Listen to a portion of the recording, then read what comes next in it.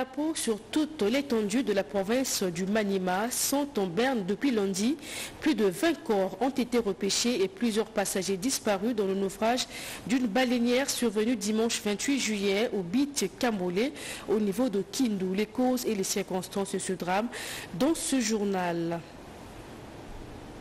Madame, Messieurs, bonjour et bienvenue au 13h30. À l'approche de la commémoration des victimes de, Génocauste, le 2 août 2024, le vice-premier ministre de l'Intérieur est en mission de la province de la Chopo. Jacquemin Chabali a présidé une réunion de sécurité. C'est avant de visiter l'école de la police de Kapalata, spécialisée dans la formation initiale continue et sur la mise en œuvre du planning de formation suivi de l'évaluation et stage des policiers.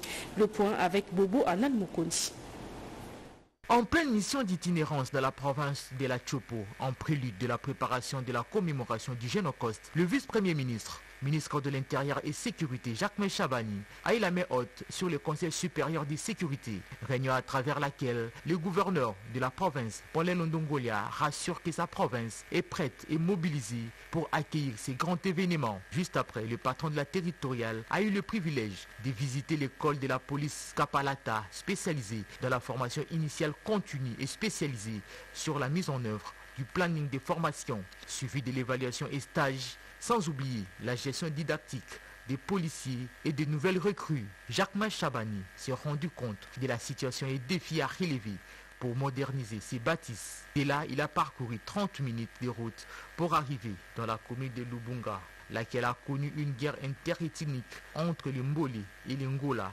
Objectif s'imprégner de la situation sécuritaire des habitants de ces coins de la République. Le vice-premier ministre, ministre de l'Intérieur et Sécurité, accompagné du vice-ministre de la Défense, Sami Adoubako, du ministre d'État de l'Agriculture et du gouverneur de province a poursuivi sa visite à la société agro-pastorale Cap Congo. Cette société palmière du Congo qui a connu la désertion de plusieurs employés à cause de ces conflits interethniques qui a opposé ces deux communautés. Nous allons vous suivre de près pour nous garantir que tous les intérêts des communautés locales seront garantis. Nous allons travailler avec le gouverneur de la province, le commissaire provincial de la police, pour nous rassurer que tous les éléments constitutifs qui font en sorte que l'autorité de l'État soit présente soient renforcés et nous allons le constater. Jacques Chabani va clôturer son périple à l'inspection provinciale de la territoriale où il va visiter les bâtiments et s'imprégner des conditions de travail de ses agents et fonctionnaires de l'État à la grande satisfaction de l'inspecteur provincial de la territoriale.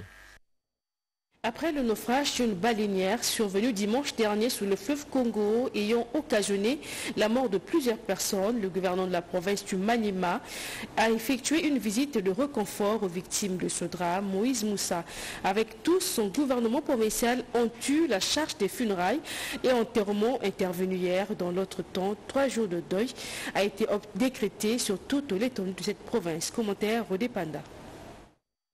C'était lors des funérailles publiques organisées à la tribune centrale de Kindum pour rendre hommage avant l'enterrement aux 25 corps sans vie tués par naufrage. Selon le gouverneur Moussa Kawankoubi Moïse, ces 25 personnes décédées par noyade ont été retrouvées et retirées des eaux par une équipe d'urgence d'enquête de pêcher sur les lieux du drame pour des recherches. Le bilan provisoire fait état de 25 morts. Ici à la tribune, on a exposé 14 corps. Il y a 7 corps qui sont descendus à Locando et 4 corps qui étaient déjà en mauvais état euh, ont été enterrés euh, cet avant-midi. Dès hier, nous avons mis en place une commission d'enquête et nous attendons les rapports de cette commission pour euh, établir les responsabilités et sanctionner ceux qui devront l'être. Cette cérémonie des obsèques publiques a été organisée avec l'assistance personnelle du gouvernement provincial du Maniema, tout en compatissant avec les familles des victimes. Moussa Kabankoubi Moïse a par cette même occasion réaffirmé sa ferme volonté de voir les enquêtes qui sont en cours aboutir pour établir les responsabilités tout en adressant un message de plaidoyer auprès du gouvernement central pour un secours avec une aide supplémentaire aux familles en détresse. Au total, 36 récipiendaires de la 7e session spéciale de l'école supérieure d'administration militaire ISAM, 203 lauréats civils de la 7e session spéciale et 9e session ordinaire au collège des hautes études de stratégie et de défense Chest ont été brevetés ce mardi. Une double cérémonie marquant la clôture de l'année académique. L'activité a été placée sous la haute autorité du président de l'Assemblée nationale, Vital Kamere. Les précisions d'Annie Malaka. La septième session spéciale et la neuvième session ordinaire du Collège des hautes études de stratégie et de défense se sont clôturées le mardi 30 juillet 2024 avec une cérémonie officielle de remise des brevets en présence de plusieurs personnalités politiques et militaires dont les premiers vice-présidents de l'Assemblée nationale, le professeur Jean-Claude Chilumbaï, le vice-premier ministre au ministre de la Défense nationale et ancien combattant Guy Mwandja Vita, le chef d'état-major général des FARDC, le lieutenant général Christian et le représentant de la CAC. Désigné parrain de la 7e session spéciale, le président de l'Assemblée nationale, le professeur Vital Kamere, a représenté personnellement le chef de l'État Félix Antoine Tshisekedi Chilombo empêché aux côtés de la première ministre Judith Souminoa Toulouka, marraine de la 9e session ordinaire. 203 lauréats civils ont reçu leur brevet des mains du président de l'Assemblée nationale pour ceux de la session spéciale et 36 lauréats militaires l'ont reçu des mains de la première ministre pour ceux de la session ordinaire. Le directeur général du CHEST, le général-major Moubiaï Mamba Augustin, a rappelé que l'objectif du CHEST est de donner à la RDC une autonomie en matière de stratégie et défense tout en offrant une expertise de taille lors des réformes en matière de sécurité et de défense. La parole au nom du chef de l'État, Félix Antoine Tshisekedi Chilombo, le président de la Chambre basse du Parlement, le professeur Vital Kamere, a salué la bravoure des forces de défense de la RDC qui défendent jour et nuit la République démocratique du Congo dans sa partie Est en proie à l'agression rwandaise. Le président de la République, comme vous le savez, tient beaucoup à l'outil de la défense. Et il est convaincu que le rôle que joue actuellement les Tchèques en formant certains de nos officiers va contribuer positivement à la réforme de l'armée et de la police nationale. Évidemment, on ne peut pas dire un mot de clôture sans souligner la douleur que nous ressentons à ce moment, qui devrait être un moment de fête, où on est en train de former des grands stratèges militaires, mais malheureusement ou paradoxalement, le pays est occupé dans sa partie Est. Ces populations résilientes méritent tout notre respect, tout comme les forces de défense qui se battent pendant que nous vivons ici à Kinshasa méritent toutes nos félicitations. Et nous sommes contents qu'il y ait intégration militaire régionale. Mais c'est une œuvre inachevée. À partir du moment où un des membres de cette importante organisation se trouve être parmi les agresseurs de la République démocratique du Congo, j'ai cité le Rwanda. Nous remercions la communauté internationale et particulièrement les Nations Unies, l'Union Européenne, l'Union Africaine et toutes les organisations internationales pour les résolutions, pour les messages de condamnation du Rwanda et de l'Ouganda, mais ceci malheureusement ne s'accompagne d'aucune sanction. La solution à ce problème, nous la connaissons tous, que les forces du Rwanda et de l'Ouganda se retirent de son territoire. C'est sur ce message que je vais dire au nom de son Excellence Félix Antoine Tshisekedi Chilombo, président de la République et commandant suprême des forces armées, que je déclare close l'année académique 2023-2024 et ouverte l'année académique 2024-2025 au Collège des hautes études de stratégie et de défense et à l'école supérieure d'administration militaire. Il faut noter que le Collège des hautes études de stratégie et de défense a été créé en 2016 et transformé en établissement public en 2023. Également dans l'actualité, le vice-premier ministre du plan souhaite optimiser le cadre de coopération entre la RDC et les systèmes des Nations Unies à travers ses différentes agences. C'était au cours d'une réunion sur la publication du rapport de ce, cadre pour la période de 2020, 2020 à 2024 qu'il a présidé hier à Kinshasa. Plus ces détails avec Mami Tabangou. Le cadre de coopération entre la RDC et le système des Nations Unies doit être optimisé sur le souhait exprimé par le vice-premier ministre du plan Nyembo. Estime que cette situation va impacter sur le bien-être de Congolais. Il a appelé à l'intensification des efforts pour privilégier l'ambitieux programme de développement des 145 territoires pour désenclaver certaines entités. Pour notre pays, il est essentiel que la diversification puisse prendre son élan complètement. Par là que nous allons vraiment créer plus de solutions pour nos populations, programmes, mais aussi combiné avec le gros plan y compris pour le programme lui-même, parce qu'il faut plusieurs travaux et pour ça, il faut ouvrir des routes pour euh, transférer des ciments, tous les produits utiles pour euh, poursuivre euh, tous les travaux concernés. Les coordonnateurs résidents du système des Nations Unies a noté la forte croissance économique pendant l'année 2023. Ce qui vous a été présenté, c'est ce qu'on a pu faire avec les ressources qui ont été mobilisées, y compris les ressources où on travaille ensemble avec les ressources congolaises, puisque le PDL 145 c'est à partir du budget, national que les Nations Unies appuient une partie de sa mise en œuvre, également ici. Donc ça, au total, ça fait 23 euh, plus les deux affiliés. Et ensuite, il y a ce qu'on appelle les agences, les entités non résidentes qui travaillent euh, en RDC sans avoir une présence permanente. C'est la Commission économique africaine euh, des Nations Unies. Une croissance estimée à 6,2%, Bruno Lemarquis a révélé l'engagement de l'ONU à œuvrer pour la paix et le développement. Le directeur général de la RTNC, Sylvie Hélène Niembo, a eu des échanges fructueux avec le directeur général de l'Académie des Beaux-Arts euh, sur des questions environnantes, question d'assainir l'espace de la radio-télévision nationale congolaise. Je pour le reportage. L'art du beau associé au savoir artistique, le résultat est un environnement idyllique et reposant.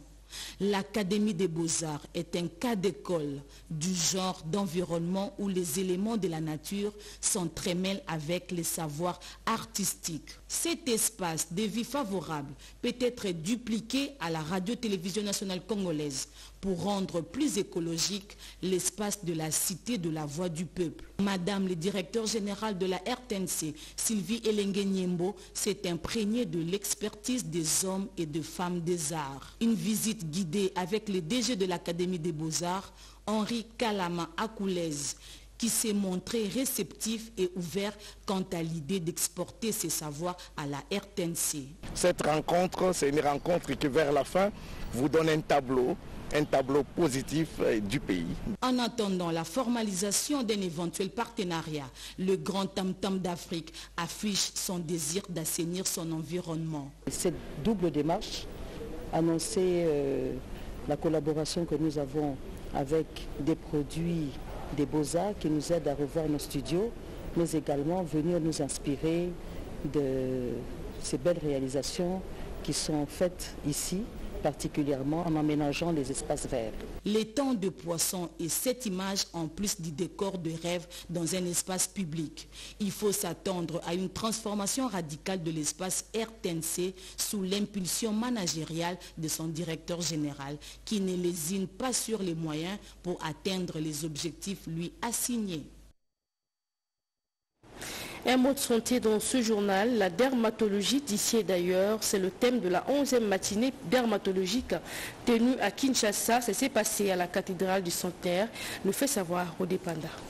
Désormais, l'espace plein de projecteurs pour recevoir les experts en santé en vue d'échanger avec la presse. Membre de l'Union des journalistes et communicateurs en santé, UGISA, est à la portée du public. Le docteur Jeff Ntalaja a eu ce privilège d'être le tout premier invité de cette tribune santé pour parler de l'état des lieux de la Société congolaise de neurologie qui, dix ans auparavant, n'avait qu'un seul neurochirurgien. Aujourd'hui, cette société en compte 24. C'est donc une spécialité qui se confirme en RDC. Docteur Jeff Talaja. Il y a de cela 10 ans, on n'avait qu'un seul neurochirurgien pour 75 millions d'habitants. Aujourd'hui, 2024, nous avons 24 neurochirurgiens pour 100 millions d'habitants. Au départ, on avait un neurochirurgien pour 65 millions d'habitants. Aujourd'hui, nous avons un neurochirurgien pour presque 3 millions. Ça signifie qu'il y a eu beaucoup d'avancées. Il y avait 80% des pathologies neurochirurgicales qui étaient transférées à l'extérieur. Aujourd'hui, il n'y a que 20%.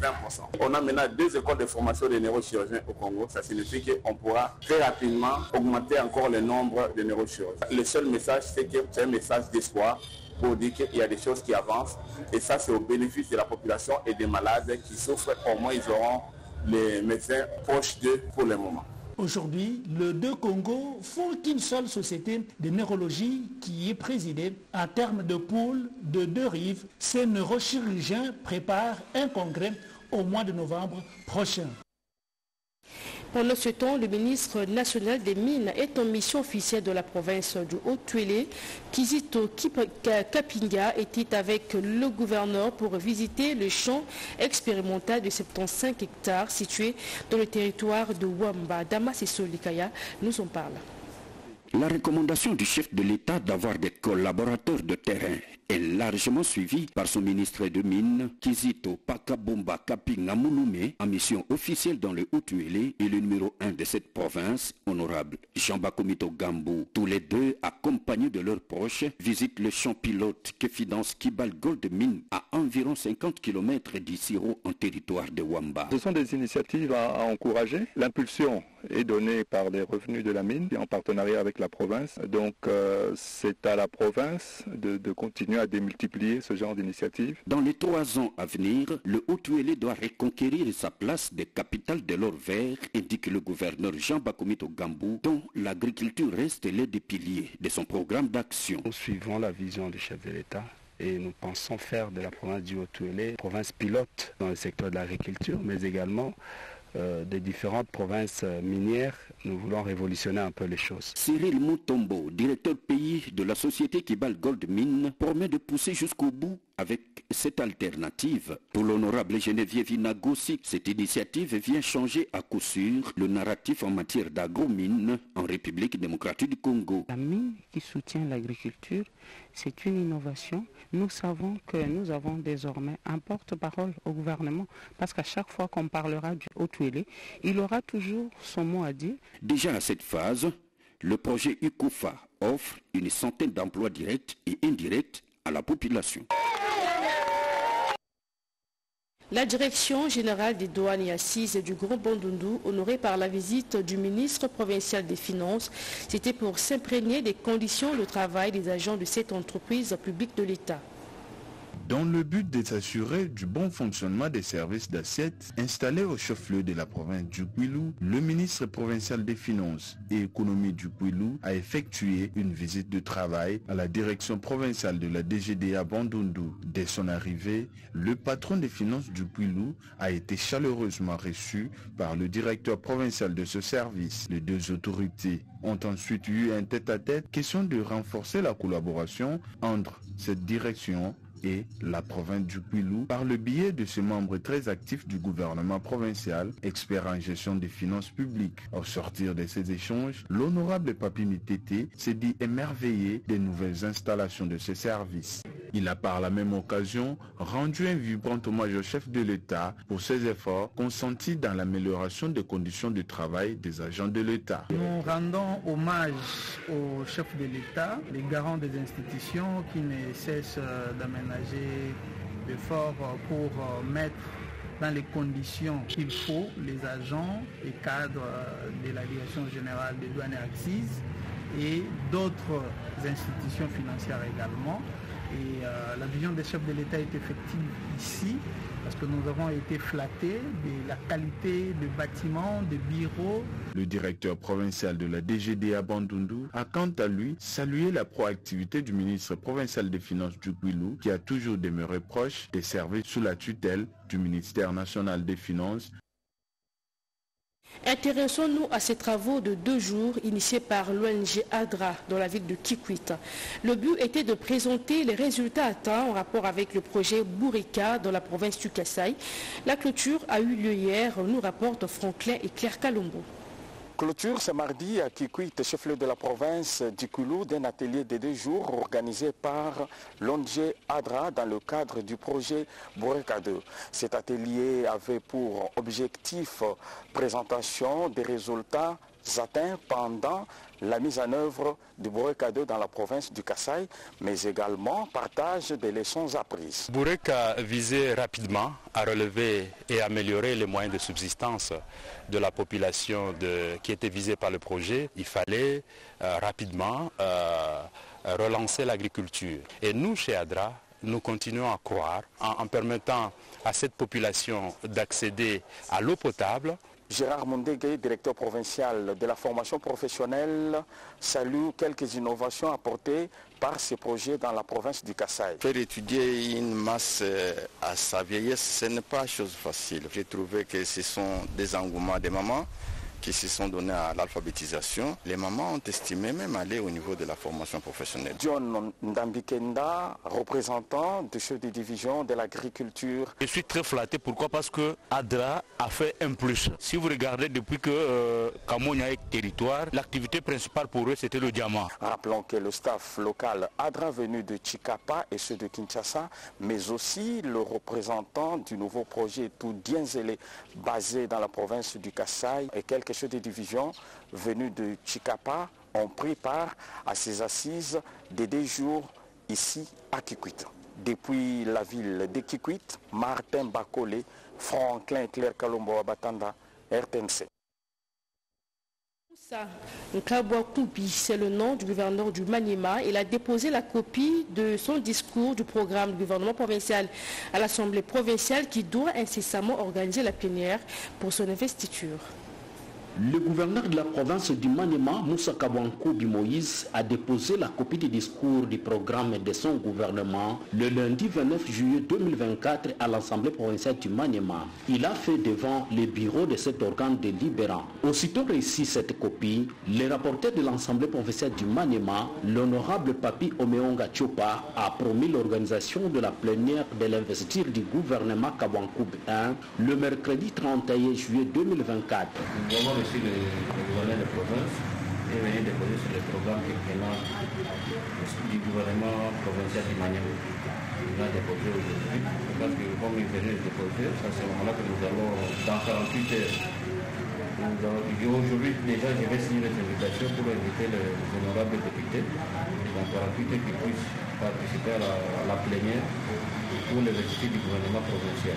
De son côté, le gouverneur Kabankoubi, son programme est axé aux problèmes de la population du Maniema. Je suis parti à l'Assemblée provinciale pour déposer le programme d'action du gouvernement euh, provincial du Maniema. Je commence d'abord par rappeler que le programme d'action d'un gouvernement traduit en fait la vision de ce gouvernement, traduit la vision en termes d'action. C'est là qu'on peut maintenant répondre à votre question. Quelles sont les priorités? Les priorités, c'est pour résoudre les problèmes de la population. Autre chose, relancer le trafic euh, sur la voie ferrée est la priorité pour le gouvernement provincial et la Société nationale des chemins de fer. C'est dans ce sens qu'une réunion stratégique s'est tenue entre le gouverneur de province et les responsables de la CNCC dans le Kassai central. Reportage.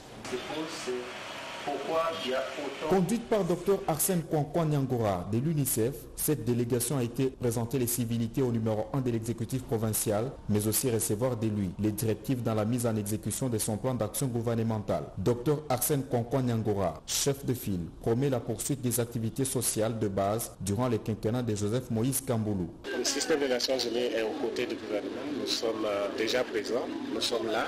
Nous avons déjà commencé un certain nombre d'activités et nous allons prendre une part évidemment très active au niveau de, de, tout ce qui est services sociaux de base et de tout ce qui, est, tout ce qui entre dans le cadre du, mandat de l'ensemble des agences des Nations Unies. En sa qualité du représentant de l'UNICEF au Grand Kassai, Dr Arsène Concoin entend accompagner le processus de la reprise des cours en province. Nous voulons euh, lancer un appel vraiment à tous les parents d'abord pour qu'aucun enfant ne soit laissé, laissé en dehors de l'école.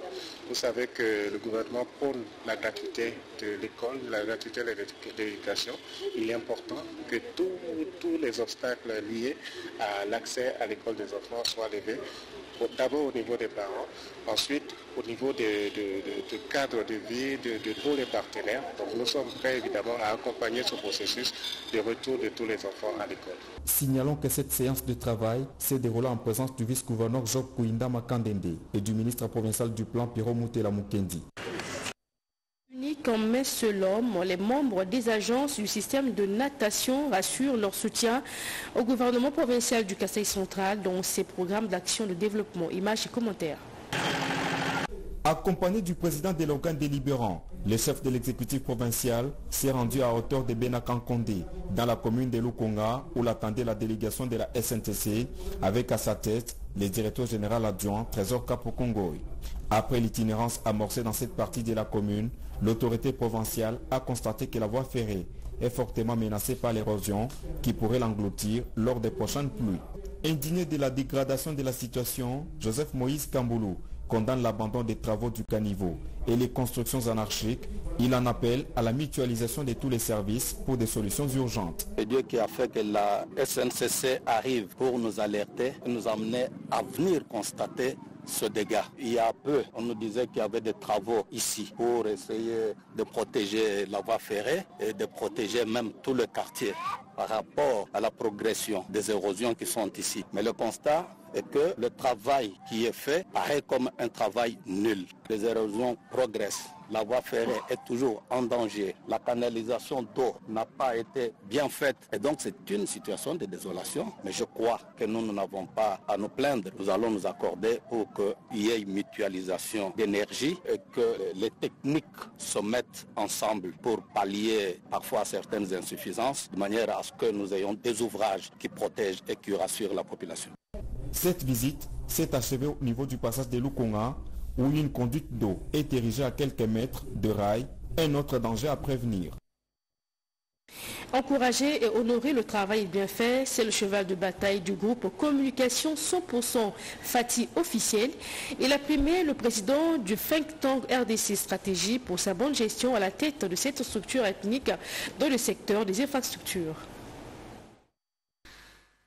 Il est en première ligne pour la matérialisation des actions à impact visible du président de la République en se basant sur la consolidation des acquis.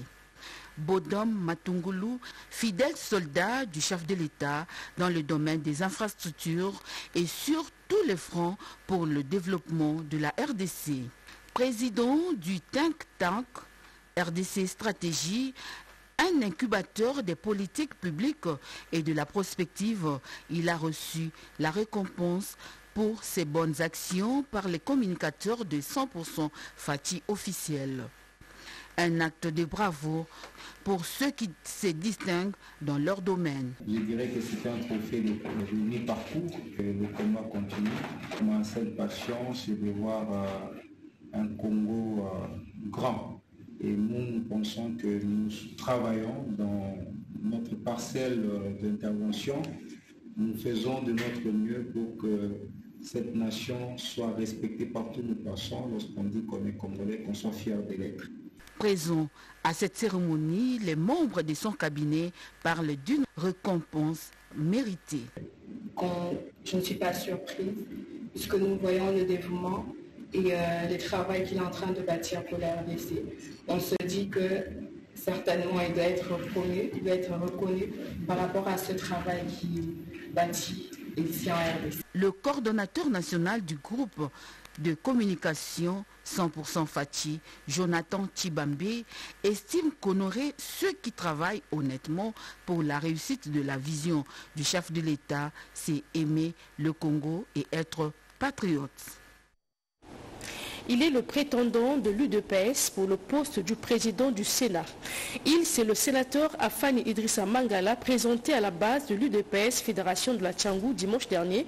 Sa candidature mobilise les enfants du parti présidentiel. Explication, Edith Chala. En prélude de la mise en place du bureau définitif du Sénat, les coordonnateurs de la majorité parlementaire ont fait d'harmoniser les vies sur les tickets de l'IDPS et Mosaïque. C'est dans ce cadre que se réunissent les sénateurs de la famille IDPS et Mosaïque pour échanger avec le secrétaire général Augustin Kabouya en présence du premier vice-président de l'Assemblée nationale. Faisant suite à la réunion du 25 juin dernier, le secrétaire général a demandé aux potentiels candidats de revoir à la baisse leurs ambitions pour permettre à leurs alliés de l'Union sacrée d'occuper aussi certains postes au bureau du Sénat. Après débat et délibération, les parlementaires de l'IDPS ont levé l'option de postuler au poste du président, de rapporter celui du afin de favoriser la cohésion au sein de l'Union sacrée de la nation. Prenant acte, l'honorable Augustin Kabouya a pris l'engagement de faire rapport à la haute autorité de référence de cette méga plateforme après l'harmonisation de vie avec leurs partenaires de l'Union sacrée. Dans sa communication, les coordonnateurs de la majorité parlementaire a invité les uns les autres à œuvrer pour l'unité en vue de permettre à Félix Antoine Tshisekedi Tilombo de répondre aux grands défis du pays, notamment la restauration de la paix dans la partie orientale du pays et le social de la population. Faisons un grand effort et placer l'intérêt de notre famille politique avant toute chose et l'intérêt du chef de l'État. Cette rencontre vient débaliser les chemins de la mise en place du bureau définitif du Sénat et dans quelques jours, l'étiquette de l'Union sacrée sera connue. La suite de l'actualité nationale dans cette revue de presse signée Jean-Pierre Ndolo Demazou.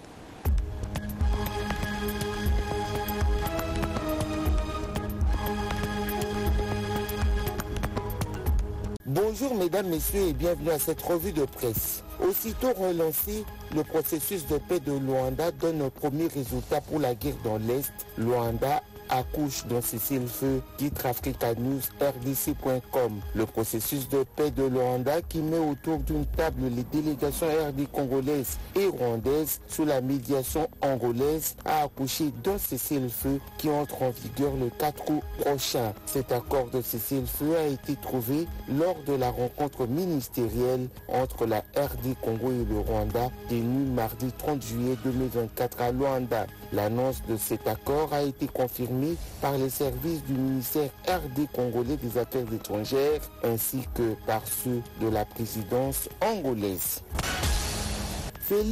Tshisekedi célèbre ce vendredi 2 août à Kisangani le Génocos, journée du génocide congolais, annonce Econews. À Kisangani écrit le journal, la ville se part de sa plus belle robe pour donner un rayonnement naturel à cette journée, répondant à l'appel lancé le 12 juillet 2024 par le chef de l'État. C'est ce mercredi, note Econews, que le président de la République arrive à Kisangani pour honorer les victimes de la barbarie des agresseurs de la RD Congo qui continuent toujours, à l'instar du Rwanda de Paul Kagame, de financer une entreprise de mort sur le sol congolais.